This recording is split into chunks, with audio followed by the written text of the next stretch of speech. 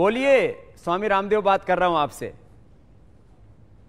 Sir वो मेरे घुटनों में दर्द होता है।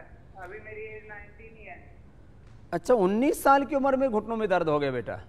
हाँ दिन में बहुत तेज दर्द हुआ। तो घुटनों में दर्द के लिए और 19 साल की उम्र है तो दो दो दो अश्वशिला खा लेना यह अश्वशिला का कैप्सूल है? और दो दो गोली चंद्र प्रभावटी की खा लेना। और दूध दूध के साथ आपका वज़न कम है कि ज़्यादा है?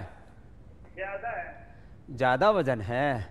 तो मेरा 70 की वज़न है? 70 किलो। अच्छा कोई बात नहीं। तो इतना भी ज़्यादा नहीं। पैंसठ किलो बताया कितना? सत्तर किलो है कोई बात नहीं। तो आप हाँ।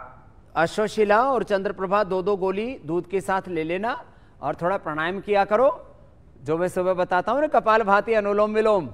हाँ वो मैं करना स्टार्ट कर दिया वो बस तो आपका ये एक महीने के अंदर आपका दर्द गायब हो जाएगा। आजकल बच्चों को भी ये थोड़ा जैसे मैंने बोला ना वात पित्त कफी तो अर्थराइटिस का ऑस्टो ऑस्टियोआर्थराइटिस का गाउट का यूरिक एसिड का ये प्रॉब्लम होने लग गया है। तो और दही छाछ खट्टी चीज़ें बंद कर देना।